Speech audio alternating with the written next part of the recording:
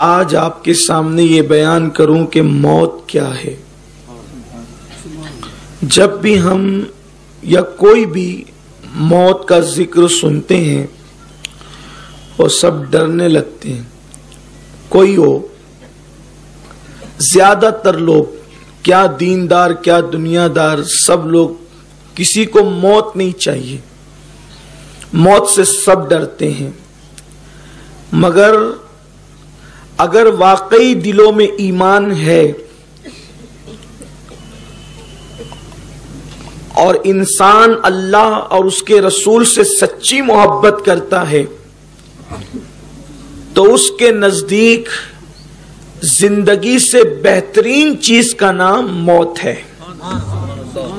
उसकी वजह यह है कि ज़िंदगी होगी तो माँ का कुर्ब होगा। ज़िंदगी होगी तो बाप का कुर्ब होगा।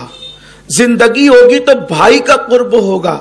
ज़िंदगी होगी तो बीवी और बच्चों का कुर्ब होगा और मौत होगी तो अल्लाह और उसके रसूल का कुर्ब होगा। कोई इबादत उस मंजिल पर नहीं ले जाती जहाँ मौत ले जाती है। किसी इबादत से वो मर्तबा नहीं मिलता जो मौत से मिलता है। इसलिए कि दुनिया में आप कोई इबादत करें, रसूलुल्लाह को आप बेदारी की आँखों से नहीं देख सकते। मगर मौत से जब मरकर इंसान कब्र में जाता है तो इंसान नेक हो या गुनेगार मुस्तफ़ा जान रहमत का दीदार कर लेता आप मुझे बताएँ, मौत के बाद अगर कुछ नहीं भी मिले तो इससे बड़ी नेमत इंसान मदीने जाने के लिए तरसता है कि एक मरतबा मैं मदीने जाऊँ, सरकार का सब्ज गुंबद देखूँ और मदीने जाने के लिए टिकट चाहिए, वीज़ा चाहिए, ये चाहिए, वो चाहिए वो चाहिए, लेकिन कुर्बान जान दी और गुंबद नहीं देखा गुंबद वाले को देख मेरे इमाम कहते, जान दे दो वादे दीदार पर, नकद अपना दाम हो ही जाए। अब बताएँ, जिस मौत से हुजूर नज़र आते हो, अगर मुनाफिक है, तब तो बात कुछ नहीं। लेकिन अगर मोमिन है तो इमाम ने तो मनकबत में कहा था, उसको नात में कह लिया जाए कि, जान तो जाते ही जाएगी, कयामत ये है। अब यहाँ मरने पे ठहरा है नज़ारा तेरा। मौत ये अल मौत जिसरुन यूसिल हबीब एल हबीब और कमाकाल के मौत एक पुल है जो मुहिब को महबूब से मिला देती है और एक बात आपसे कहूँ कि वतन जाने से भी कोई डरता है क्या बात है मेरी कौम का अजीब हाल है वतन जाने से डरते देखो आपका वतन मालेगांव है आपको कुछ दिन के लिए मुंबई भेज दिया गया अब कोई आपसे कहेगा कि भाई, आठ दिन के बाद आपको मालेगांव चलना है। सच सच कहना, खुशी होगी कि गमी होगी। है? खुशी होगी। हैरत है। हमारा वतन तो आखिरत है। बल्कि हमारा वतन तो जन्नत है। ये जो कहा गया ना अल हुब्बुल वतन मिनल ईमान, के हुब्बुल वतन ईमान की अलामत है। तो यहाँ वतन से मुराद जन्नत है।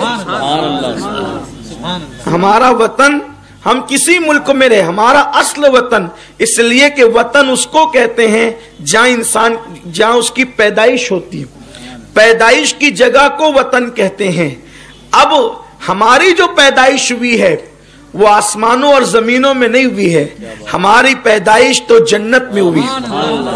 हमारे अब्बा को जन्नत में बनाया गया है। तो हमारा वतन है जन्नत। और हमें कुदरत ने कहा है, इन्ना लिल्लाही व इन्ना राजीउन के तुम अल्लाह के माल हो और तुम्हें अल्लाह की तरफ़ पलटना है। तो वतन जाने की बात है। वतन जाने की बात है और हम वतन जान, जाना नहीं चाहते। और एक बात आपसे कहता हूँ कि यहाँ जितने टेंशन है वतन में कोई टे, टेंशन परदेश में होते हैं वतन में नहीं। आदमी परदेश में हो तो पानी मांग कर पिए खाना मांग कर खाए बिस्तर मांग करके मिलेगा। किस परदेश में कितने अभी बड़ा मेहमान बन के जाओ घर जैसी राहत नहीं है। घर जैसी राहत तो वतन में है। और अल्लाह अकबर यहाँ खाना है तो दिन भर कमाना भी है, लेकिन वतन में कमाने का टेंशन नहीं। और फिर सुबहान अल्लाह हमारा चूँकि अकीदा गैब पर है, हमने मौत को समझा नहीं, काफिरों की तरह मौत को हम देखकर, समझकर, हम जो वो हक्का बक्का रह गए और सब। असल में मौत का तस्वुर ही ऐसा पेश किया गया कि हमने मौत से मोहब्बत नहीं की। मौत मांगी भी नहीं जाती, लेकिन मौत बुरी भी नहीं है। देखिए, दरअसल अल्लाह के रसूल सलाम ने फरमाया कि इंसान दुनिया में ऐसे है जैसे मुसाफिर। एक आदमी सफ़र करते हुए, पहले जब लोग सफ़र करते थे तो कार वगैरह तो नहीं थी, आपको मालूम है। तो लोग घोड़ों पर, ऊंटों पे खच्चर, पहले पैदल सफ़र करते थे। तो सफ़र करते करते जब मुसाफिर थक जाता तो कुछ देर के लिए वो दरख्त के नीचे सुस्ताने के लिए बैठ जाता या सो जाता। उसके बाद उठता और उठ करके चल देता। इसीलिए अल्लाह के रसूल सलाम ने फरमाया कि दरख्तों के नीचे, सायादार दरख्तों के नीचे पेशाब मत किया करो, पाखाना मत किया करो। क्योंकि वहाँ मुसाफिर आकर के ठहर सकते हैं, उनको तकलीफ़ होगी। तो आका फरमाते इंसान की ज़िंदगी ऐसे ही है, जैसे एक दरख्त के नीचे मुसाफिर सफ़र करता है और आगे बढ़ता है। अब आप कहें, कोई सत्तर साल जीता है, कोई सौ साल जीता है तो क्या वो मुसाफिर की तरह जिए? हज़रत नू सलाम की उम्र एक हज़ार साल से ज़्यादा की थी। कितनी थी एक हज़ार साल से ज़्यादा की? जब उनका इंतकाल का वक्त आया तो जबरील सलाम ने पूछा, आपने कैसे पाया ज़िंदगी को? एक हज़ार साल अल्लाह ने ज़िंदगी दी, कैसे पाया? तो जबरील से कहा, जैसे मैं एक दरवाजे से दाखिल हुआ और दूसरे दरवाजे से निकल गया। यानी कितनी भी लंबी ज़िंदगी आपको मिले, आपको ऐसे ही लगेगा, देखिए, अभी आपकी किसी की उम्र 35 साल की होगी 40 साल की होगी 20 साल की होगी। लेकिन हमको ऐसा लगता है कि हम 20 साल से दुनिया में रह रहे हैं। हम 40 साल से दुनिया में रह रहे हैं। ऐसा लगता है जैसे पैदा हुए कल की बात है, बचपना गुजरा कल की बात है। तो यहाँ कितना भी रहो, वो मुख्तसर ही है, बहुत मुख्तसर है। तो अल्लाह के रसूल सलाम फरमाते, ऐसे रहो, जैसे दरख्त के नीचे एक मुसाफिर रहता है, चल जाता है। तो ये सफ़र है हमारा हमारा एक सफ़र है। देखिए, जब इंसान आलम अरवाह में था। ये उसका सफ़र शुरू हुआ, इंसान का सफ़र। उतनी बात करता हूँ जितनी समझ सके, क्योंकि मुझे मरकज पे बहुत अहम उनवान से पहुँचना है और जल्दी पहुँचना है। इंसान का जो सफ़र शुरू हुआ है, वो इल्म लाई से शुरू हुआ है। इल्म लाई की तशरी छोड़ देते हैं, फिर उसके बाद इल्म लाई से सफ़र शुरू होता है, फिर इंसान आता है आलम अरवाह में। यानी रूहों की दुनिया में आता है इंसान। कभी कभी देखो आप कहीं जाओगे ना, जैसे मिसाल के तौर पे, किसी मजार पे चले गए, कहीं कभी ताजमहल पे चले गए, किसी जंगल में चले गए, किसी घर में, पहली बार गए, आपको ऐसा लगता है कि मैं यहाँ पहले कभी आया हूँ। आपको गौर करना कभी कभी कभी ऐसा होता है, मैं पहले आया हूँ। हालाँकि आप यकीनन पहले वहाँ नहीं गए, लेकिन फिर भी लगता है मैं पहले आया हूँ। तो वो रूहों की दुनिया का सफ़र है। कभी आपकी रूह वहाँ पहुँची थी इसलिए आपको ऐसा लगता है कि कभी यह हादसा मेरे साथ हुआ है। नहीं होता है, लेकिन आपको लगता है हुआ है। वो रूहों की दुनिया का सफ़र है। इन ताला कभी मौका रहा तो रूहों की दुनिया पर एक कभी याद दिलाए मुझे। तो मरकज पे इस पे हम तफसीली खिताब करेंगे, रूहों की दुनिया क्या होती है।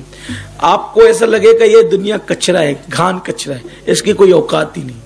ये जो जिसके अंदर तुम बैठे हो ना, गेम खेल रहे हो, खा रहे हो पी रहे हो, गाफिल हो, फजर छोड़ रहे हो ज़ोर छोड़ रहे हो, असर छोड़ रहे हो, इसी से दिल लगा कर बैठे हो। कचरा है, कुछ नहीं, इसकी कोई औकात नहीं। अगर टाइम रहा तो मैं आपको बताऊँगा कि ये दुनिया सच्ची सच्ची बात और दुनिया की हकीकत इतनी है कि ये दुनिया एक ख्वाब है, बस। ख्वाब के सिवा ये दुनिया कुछ नहीं, बस। जिसके लिए इंसान मार पीट कर रहा है, कत्ल, गारतगिरी कर रहा है, झूठ बोल रहा है, रिश्वतें ले रहा है, गुनाह में डूबा हुआ है, ये सिर्फ़ ख्वाब है। बहुत बड़े धोखे में है इंसान। हकीकत आखिरत है। ये हुबाब है हुबाब। हुबाब किसे कहते हैं? हम अपनी जबान में जिसको पानी का बुलबुला कहते हैं ना, उसको हबाब कहते हैं। बस दुनिया मिसले हुबाब है। दुनिया मिसले हुबाब है कि पानी का बुलबुला कितनी देर रुकेगा? चंद सेकंड से ज़्यादा उसकी ज़िंदगी नहीं रहती। बस इंसान की ज़िंदगी का यही हाल है जैसे पानी का बुलबुला।